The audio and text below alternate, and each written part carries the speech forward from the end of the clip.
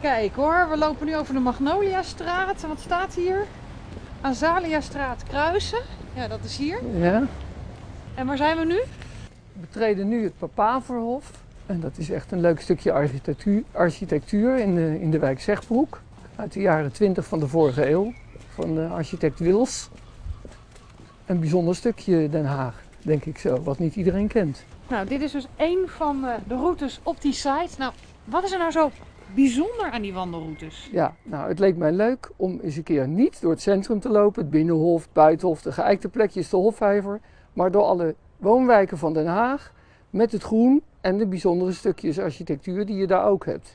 Hofje aan de andere kant verlaten. En dan rechtsaf de Klimopstraat, is daar hè? Ja, kijk, leuke poort. Hier onderdoor? Met, Ja, hier met de kroeg.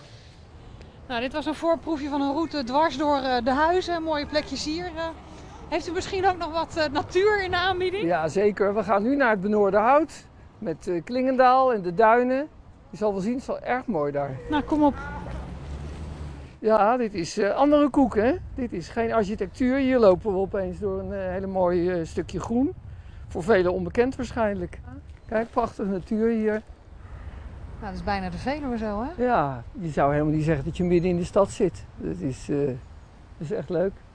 Nou, is dit eh, een van de 18 routes tot dusver? Betekent dat dat er ook nog routes bij gaan komen? Ja, er, zit- zitten nog wel wat gaten. We moeten de, de Finex-wijken nog doen. En eh Rijswijk, Voorburg en Leidschendam. Daar is ook vast nog wel wat, eh, wat leuks te wandelen, denk ik wel. Maar Den Haag wandelstad, dat wordt hem wel. Ja, dat wordt hem wel. We zijn een groene stad, echt waar. Daar kom je wel achter.